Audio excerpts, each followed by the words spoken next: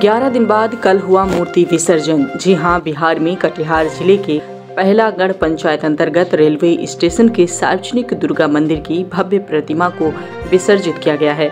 यहाँ आस्था का सैलाब देखने को मिला। डीजे पर भक्ति गीत में झूमते हुए लोग शांतिपूर्वक मूर्ति को विसर्जित करने गए।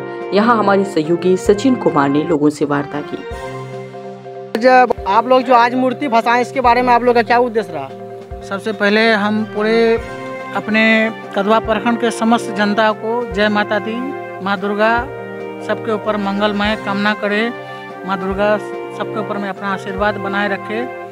सबसे पहले कि हम लोग जो आज प्रतिमा विसर्जन जो किए हम लोग, जो जिला प्रशासन का जो गाइडलाइन था और जो हमारे स्थानीय प्रशासन का जो गाइडलाइन था, हम लोग गाइडलाइन को फॉलो किए। और माँ दुर्गा का प्रतिमा विसर्जन किए और शांतिपुर पर प्रतिमा विसर्जन किए। जहाँ पे इन्हीं हम लोग को बहुत ज़्यादा खुशी हुआ कि हम लोग के कदवा प्रखंड या सोनली के जितना भी समाज के जो भी आदमी थे सब उसमें शामिल थे और हम लोग गाइडलाइन के थ्रू से हम लोग प्रतिमा विसर्जन किए और अच्छा लगा हम लोग को। और मंदिर का क्या नाम है? मंदिर का नाम है मंदिर तो सार्वजनिक है ये स्टेशन में विराजमान है ये स्टेशन ये मंदिर मंदिर जो है आपका सोनौली रेलवे स्टेशन पे ही है।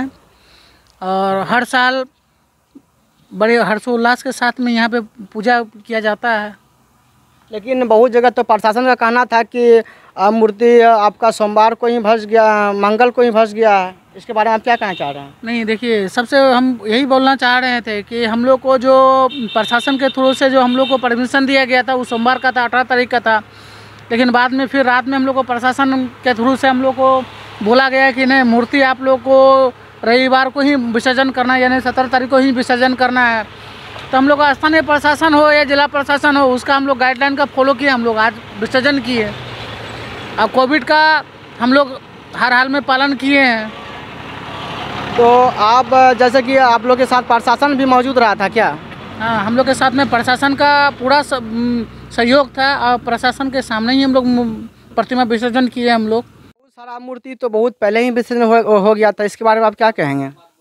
इसमें हम आपको आपके चैनल के माध्यम से यही बात बोलेंगे कि आज हम लोग एक ग्रामीण क्षेत्र से हम लोग आते हैं। और ग्रामीण क्षेत्र में बहुत जगह पे प्रतिमा का विसर्जन होता था लेकिन हम लोग गाइडलाइन का फॉलो करने के फॉलो करने के लिए ही हम लोग थोड़ा सा लेट से प्रतिमा का विसर्जन किए ताकि भविष्य में माँ दुर्गा का कृपा रहे कि किसी को कोरोना नहीं हो। और ये जो संकट हमारे पूरे देश में आया है, इस संकट हम लोग चाहते हैं माँ दुर्गा के आशीर्वाद से कि इस संकट जितना से जल्द हो, इस संकट हमारे देश में ख़त्म हो जाए, ताकि हर वर्ष के भांति अगले वर्ष भी माँ दुर्गा जब भी आए तो हम लोग इतना धूमधाम से मनाएँ।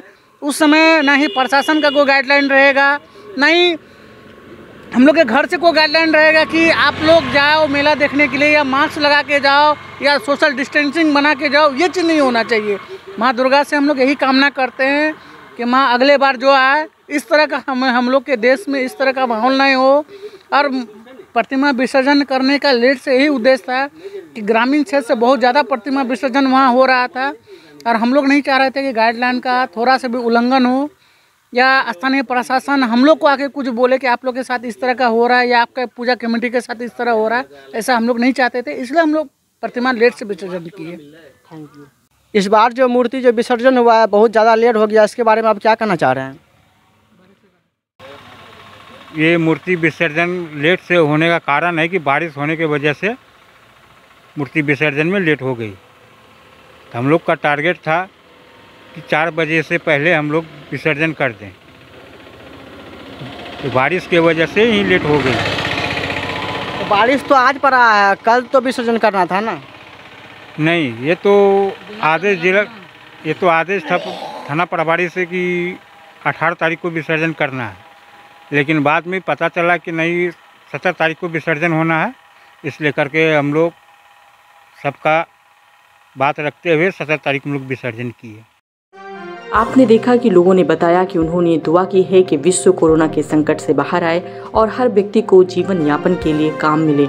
यहाँ सार्वजनिक दुर्गा मंदिर कमेटी के सदस्य उपेंद्र पासवान, मुन्ना पासवान प्रतीक विश्वास, भानु विश्वास, मनोज विश्वास एवं समस्त ग्रामवासी मौजूद रहे।